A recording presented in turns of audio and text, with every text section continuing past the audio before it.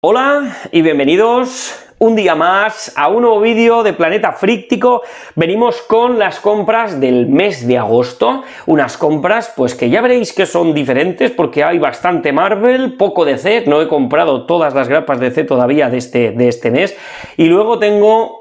tres cositas que no son ni Marvel ni DC, que son espectaculares y que tengo muchas ganas de enseñaros, aunque hay una que ya os la he enseñado, una reseña que ya se ha hecho en el canal. Bueno, antes de empezar, como siempre, deciros que nosotros las compras las hacemos en Tomos y Grapas, la mejor tienda del multiverso, aunque también es verdad que este mes no las hemos hecho todas allí porque en las compras de este mes se incluyen regalos y compras que hemos hecho pues estando de, de, viaje, al entrar en tiendas de cómics, pues que quieras que no, siempre acabas llevándote algo. Así que vamos allá con las compras de cómics del mes de agosto.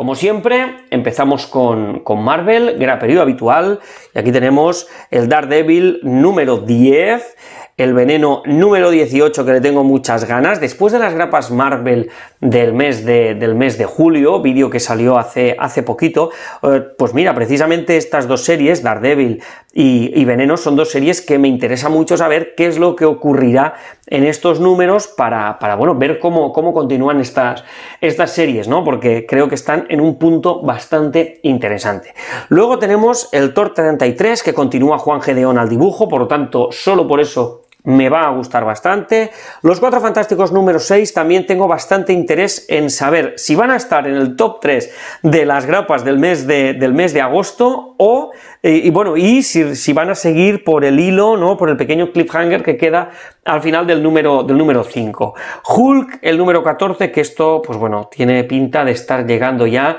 al, final, porque sí que es cierto que no le puedo, tal y como están los acontecimientos en la serie regular, no, no tendría que durar mucho, mucho más. Además, ya está anunciado el, el, nuevo número, el nuevo número 1. Y luego tenemos también el asombroso Spider-Man número 15, que aquí habrá que ver, hay un, en la portada hay un cruce con los cuatro fantásticos, pero aquí habrá que ver si vamos a continuar descubriendo qué es lo que sucedió entre Peter y Mary Jane, lo que nos contaron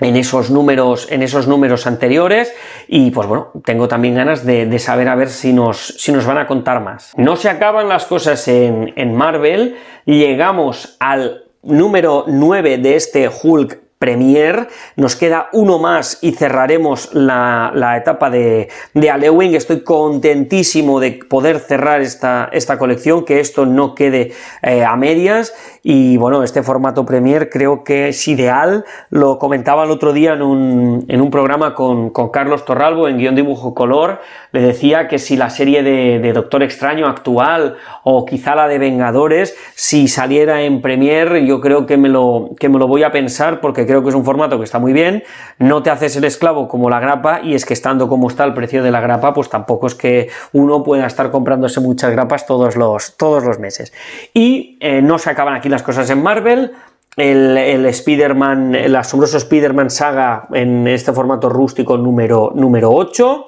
y luego también me hace mucha ilusión pues este tomo 100% HC de veneno que incluye la marca del jefe, la agenda veneno y el final, que este se supone que es el último tomo de lo que son las historias de los 90 del, simbionte. Vamos a ver si van a continuar. Desde luego, eh, pues un fan del personaje como yo, sí o sí, debe tener todos, toda, la, toda la colección. Y la verdad, por cierto, queda muy bonita en la estantería, así que genial también haber terminado esto. Y espero que, pues bueno, continúen con las historias de los, de los 2000. Vamos a continuar, vamos con, con DC, cuatro cositas de DC, ya os he dicho que las grapas de agosto de DC me las he, me las he dejado para, para, el mes de, para el mes de septiembre. Y bueno, os traigo la grapa número 6 de Batman, que incluye, recordad, el año 1 de Zurrenar, que el número anterior fue maravilloso y además aquí continúa Leonardo Romero también, por lo tanto me va a molar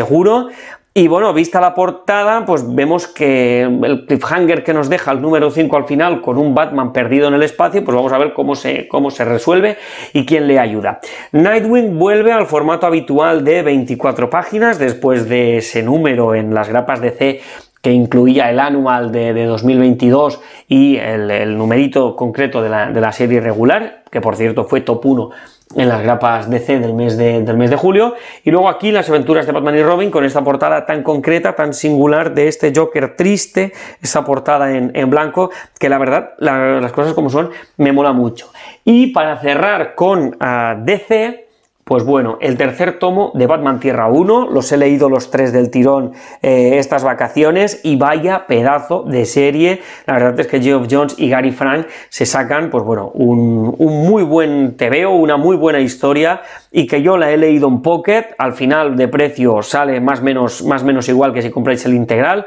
Yo era por, por probar y bueno, el formato Pocket pues no soy yo ahora quien lo venga a descubrir, porque yo creo que a todos los lectores de DC nos mola mucho y además con el precio que tiene es que es muy difícil resistirse. Entonces, pues bueno, los tres tomitos, 30 euros, a mí me ha, me ha cumplido y yo, vamos, me lo he pasado muy, muy bien leyendo este Batman Tierra 1. Bien, y vamos a lo que no es ni Marvel ni DC y realmente lo primero que os voy a enseñar tampoco es que sean cómics propiamente dichos, pero os tengo que enseñar que me ha llegado este Metaltober Multiverse Madness Metaltober, esto es el Inktober del año pasado de, Juanjo López, con esta pedazo de dedicatoria, con este Daredevil, es una maravilla, luego aquí nos ha hecho un, un Hulk, y bueno, lo que podéis ver aquí, pues son los diferentes dibujos que hizo Juanjo en, el, en el Inktober de, 2022, a ver qué tiene preparado para este, para este 2023,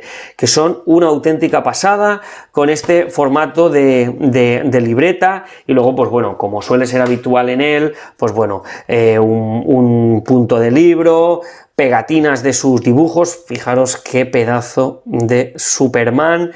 y luego, pues tengo aquí estas dos laminitas, esta de, Superman con su hijo y esta de Batman y Robin, que me parece espectacular. Bueno, ya sabéis que, que en Planeta Fríctico tenemos debilidad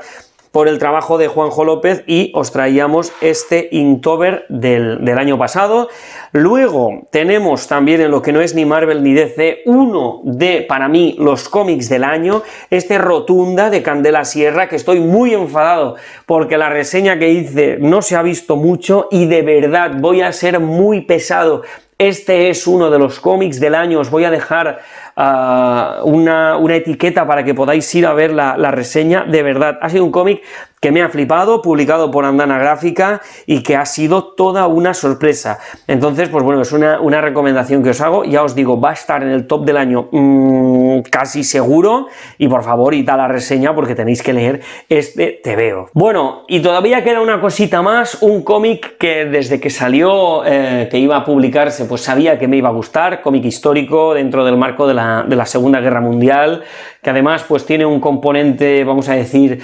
didáctico, cosa que también me gusta mucho, de la editorial Astronave, que no he leído nada malo de Astronave, y pues bueno, podéis imaginaros qué TVO es, estoy hablando de La Maestra, Vaya pedazo de TVO también, voy a tener que traeros la reseña de este cómic. Astronave hace una edición maravillosa. Y bueno, el cómic es, eh, pues bueno, cómic puro. Ah, ya os comentaré en la reseña más en profundidad, pero al final es esta maestra que podéis ver en la portada que tiene que salvar a un niño judío de, su clase de que los bretones, que eran, bueno, que apoyaban a, los nazis, se lo, se lo lleven. Ah, un cómic educativo, un cómic largo, un cómic ah,